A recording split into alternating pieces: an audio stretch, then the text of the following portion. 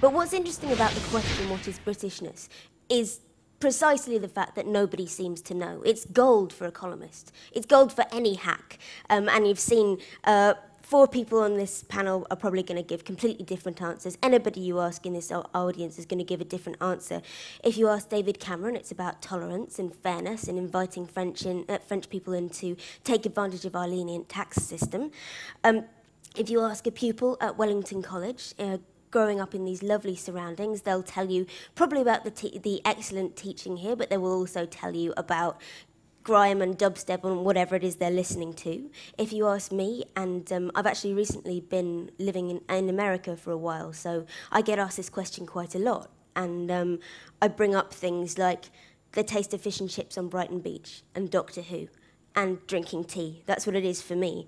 Um, if you ask somebody like my colleague Professor Starkey, it's playing xenophobia and racial prejudice for laughs. And if you ask people who've organised people who organise conferences like this, it's sitting by politely whilst people play racial prejudice and xenophobia for laughs and pretending that this is an acceptable part of contemporary debate. We're setting up a false dichotomy here between Britishness and Englishness. They're not There's at all. There's an absolute dichotomy. Um, are, the two are completely different. There is a historic English identity which goes way back before the concept of Britain. Also, this notion of England, uh, or indeed Britain, as uniquely a nation of immigrants is preposterous. Um, that every European country is a blend. Of course it is. Um, the great, there are two great differences. I the believe you have a house in America, Mr. Starkey. I have Professor a house Starkey. in America. I was wondering, um, where are you uh, domiciled for tax purposes? I am domiciled here and I pay full taxes. And can I just say, as you have chosen, as you have chosen to be personal and invidious, let me share a little story with you. One of the great, one of the great things that is essential to Britishness is a sense of public duty, that you do things for nothing with organizations that can't pay. Ms. Penny who has been advertising these great left wing virtues and I, were due to debate for a very impoverished little society called the Thomas Paine Society on the virtues of a republic on the one hand and a monarchy on the other.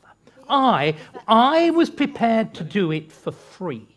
She insisted on trying to charge such a large fee that the event had to be cancelled. Now, I think that is as mean, that is as mean, that is as mean and grasping as, as, as some runt comedian, and I will not be lectured to by a jumped up public school girl like you. I came from the bottom, and I will not have it.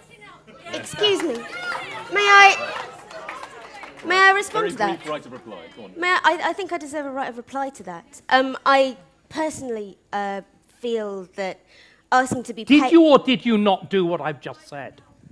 I was going to respond to that, but Why not do it straight away? Did you or did you not claim such a large fee that the event had All right, to be all right, cancelled? No, I, did, I didn't, Mr. Well, Starkey. then, then every member of the committee is lying, and you, clearly as usual, are telling the truth. No, this is not what was said to me. Um, uh, I I have emails. All- all right, that all right, wonderful, all right, all right. you know, Let- wonderful just method of respond tracking. to it, Laurie. Just no, I don't think. Actually, I don't think I'm going to respond to it. Um, I was well, one of the reasons the, ev- the event was cancelled partly because they couldn't find a speaker in time because they were trying to fly me out, and part of the reason that you know part, the the cost for that on top of my being asked to be paid for two days' work because I actually don't I actually don't earn very much. Well, um, they had two pretty good speakers there already. Well, No, she backed out because she wasn't being paid. anyway, um, sorry. Excuse me. we're, we're, we're, we're, we're running over time, but I, I want to come back to. I, to I this just, point I really don't appreciate being stood on stage to Yeah. be Um, personally okay. attacked and having a Um, finger I, jabbed I want to come back face. to Englishness versus Britishness, but, Well, but I Vivian? yeah, I don't know if you can hear me, but I mean, I think the point about Laurie? Um, I think um, I'd like to say something about Britishness in terms of what's just gone on here, which I feel like we've been moving on very quickly from. But um, I attempted to make a point and was had a person on this panel shouting and pointing in my face. And in fact, um, the point that Mr. Professor Starkey raised about my dropping out of a panel where we were due to speak together the, my, my main reason for doing so is that I didn't want something like that to happen. I felt that I was being set up to be attacked, and uh, part of the reason I decided to.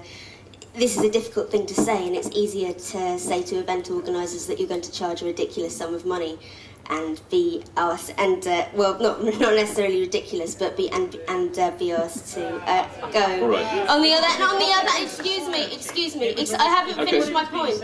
I haven't finished my point. My point is that this is what debates like this come down to.